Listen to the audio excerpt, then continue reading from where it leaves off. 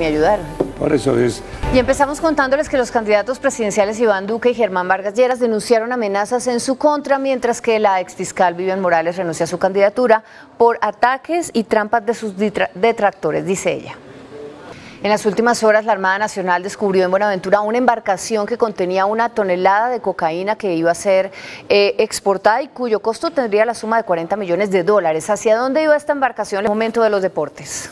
Es que si la están sacando de un debate público que le permite a la gente conocer su plan de gobierno y, ella tiene razón en decir que se siente. Una serie de televisión The Good Place o ya, que al parecer dos de las personas involucradas en el asesinato de la líder social de Arauquita y continúa cerrada la vía que comunica a Medellín con la costa atlántica. Los turistas y los transportadores de carga son los más afectados. Yo sé minutos, momento de los deportes. Empezamos este boletín contándoles que la Dijín de la policía capturó a cuatro personas de integrantes de la banda La Cordillera que se encargaban de utilizar menores de edad para transportar droga en el departamento de Risaralda. Más detalles en Hawái están en alerta porque el volcán Kilauea podría hacer erupción en cualquier momento.